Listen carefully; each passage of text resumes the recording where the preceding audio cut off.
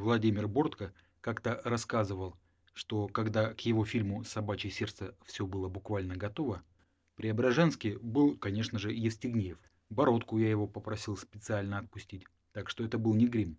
Деньги выделены, актеры уже на низком старте, но Шарикова нету.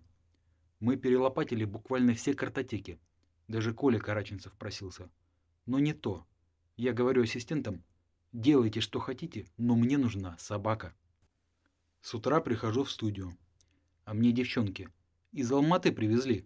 Толоконников фамилия. Актер местного пошиба, конечно. Но хотя бы посмотрите. Я открываю дверь в кабинет и сразу же ее закрываю. Потому что там на стуле сидит натуральная собака в пиджаке.